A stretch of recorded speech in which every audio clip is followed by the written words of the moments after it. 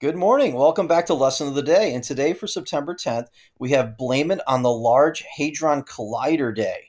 And what this lesson's about, when the they turned on the Hadron Collider for the first time, they didn't know exactly what was going to happen.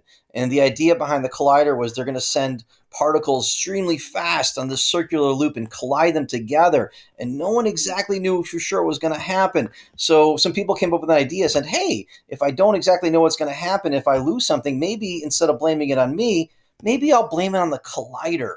So for the lesson today, there's a crossword puzzle and a word search all about the Large Hadron Collider in Switzerland. And I brought one of my students with me to help me out today. Say good morning, buddy. Morning, hello. All right, thanks, pal. Um, so let's take a look at the crossword puzzle that you'll get.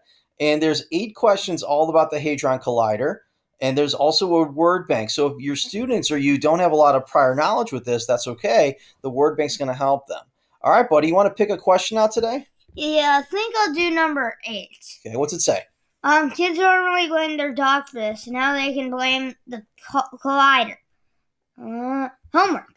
Well, let's take a look. So, um, looks like there's how many letters, pal, to homework? Eight. Yeah, and if you go to eight across, there's also eight letters too. Yeah, kids love blaming the dog for not having their homework. Now, if they lose their homework, they can just blame it on it's the collider's fault. What a great idea, right? So, anyway, if you want to um, help your students out here, um, use the word bank. And there's also an answer key for you as well, teachers, if you need to help them out too.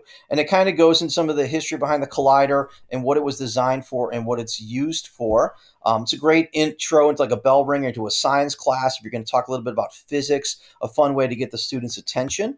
Um, I also have a word search for you all about the Hadron Collider and then there's terms below here. There's the word bank, and then there's also an answer key below. Um, if you like the lesson, there's going to be a link at the bottom in the description that's going to take you to Teacher Pay Teachers. Go ahead and check that out. And if you like the channel, go ahead and please like and subscribe to the channel and come back here for more lessons of the day.